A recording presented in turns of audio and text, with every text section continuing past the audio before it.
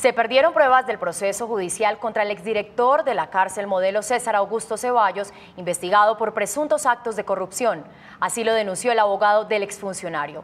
Todo se descubrió el viernes, día que se desarrollaría la audiencia de apelación. Las autoridades investigan qué pasó con esos audios y la intención al querer, al parecer, desaparecerlos. Hacia las 3 de la tarde del pasado viernes fue citado el exdirector de la cárcel La Modelo César Ceballos en el complejo judicial de Palo Quemado en Bogotá. Sin embargo, cuando llegaron a los juzgados se encontraron con la sorpresa que el expediente no estaba completo ya que faltaba una prueba. El juez de conocimiento manifestó que los audios de la defensa, precisamente donde se estaba pronunciando sobre la medida de aseguramiento, no se encuentran en ningún lado, situación que es irregular. Según manifiesta Ricardo Burgos, abogado defensor, es que fue muy débil la ponencia de la Fiscalía.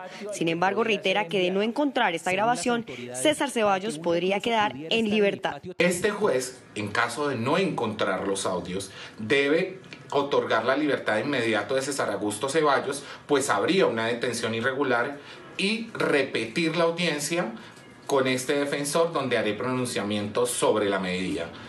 El abogado Burgos precisó que se trata de un proceso lleno de irregularidades y que pedirá dar con los responsables de la pérdida de estas pruebas tan importantes en un caso como el exdirector de la cárcel La Modelo.